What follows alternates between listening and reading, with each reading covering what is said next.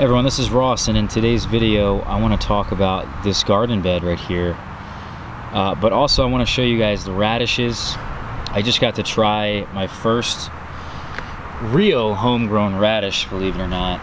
And while it was very small and they are still young, um, I was blown away by the flavor. But this garden bed, we just created it this year. We just put some soil down, we had cardboard uh, underneath as well as some straw. Um, and then we transplanted a lot of crops out in here sometime around, I think, um, March 15th. Believe it or not, the, the ground had thawed pretty quickly in March. And then what we did was we actually came in here April 1st and direct seeded some things behind it. Um, you can see the peas are really far along. These transplanted out really well. Um, we did struggle a bit with transplants because while this row cover I think is an amazing thing for these cool loving crops, getting them a real nice head start, um, it kind of really damaged a lot of the transplants because the transplants were a bit too big and then it was also really windy and this this row cover really kind of beat the plants up And then what I've learned over time is that if you just have enough rocks holding the row cover down, it won't blow as much and I would have been fine. I would have had a lot less issues here. But not only is the row cover really heating this up and getting a lot of these crops a warmer soil, it's also protecting them from different pests, um, any critters that may be around in the yard at this time of the year.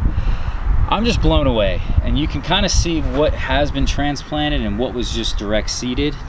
It's actually a bit difficult to tell. There's a lot in here that is really heavily seeded and very close together. So we'll see. I know this is spinach here.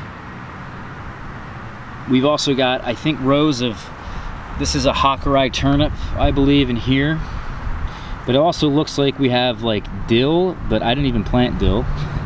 And we've also got things like, uh, I think spinach in between the two turnip rows. We've got radishes here, which I want to show you guys now. Um, these radishes, again, are very young and they're not really ready to be picked, but you can definitely eat this stuff young. And this is a French breakfast radish. This is a radish that uh, I picked up from Baker Creek this year. There's two different types of radishes out there, I guess you could say.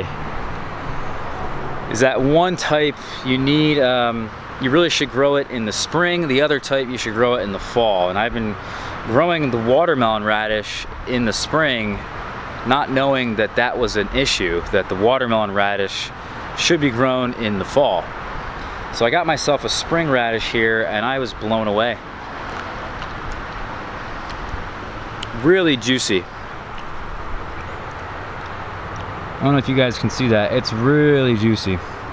And it's got that radish flavor in it, right? It's got like that that spiciness to it, I guess. That zest, but it's really sweet. Um, and the zest is not really that intense. And I think it has a lot to do with the time of the year that this is the fact that everything's so cold still or not really too hot still um, I'm absolutely blown away by that crop. It reminds me a lot of a Hakurei turnip and the Hakurei turnip is not your typical turnip guys.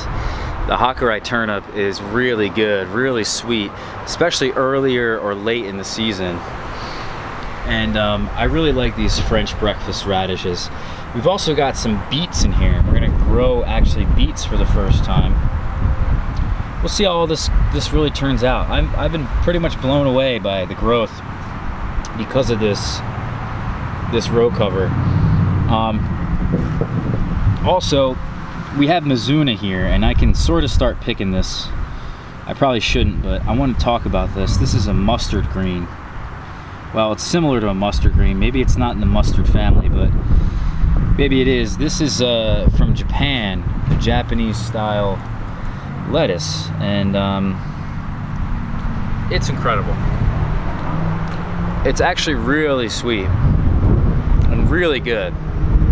We had some growing back in here last year and the stuff lasted all summer until I picked it or until some pests got to it. Um, it's one of the best things you can grow here in terms of lettuces. It has a nice texture. Um, it's pretty sweet, but it's also got a little of that mustard intensity to it. So it's really nice combo. And I think it goes great on burgers. Uh, it grows goes great in a salad. Uh, it's really good. So I guess that's enough vegetable talk for now. We'll come at you guys with more as we kind of progress through this. I guess I can show you guys in comparison the other garden beds. I mean, we did seed some of this stuff a bit later, but this is what the peas look like. Such a huge difference. And then also all the little seedlings that we direct seeded, they're not even really showing their true leaves yet. So a lot of this I may not even get a chance to eat. You can see that. This is all very similar stuff. We got, you know, spinaches, different types of beets and um, the radishes we just had, the Hakurei turnips, all this stuff, even carrots, which we have in the other bed as well. And then here's peas behind it, which we also direct seeded. Um, and this soil is a bit warmer. So because this is a bit warmer without that mulch, without that rice hulls on it, these are a bit further ahead. Um, but then again, we also have some over here And these guys were transplanted out and they're definitely not as far along. Although not that far behind of the ones in the row cover. So not bad. And overall, I'm really excited for this year and all the vegetables that are to come. So, all right guys, thank you for watching this one and uh, we'll see you for tomorrow's video. All right, take care.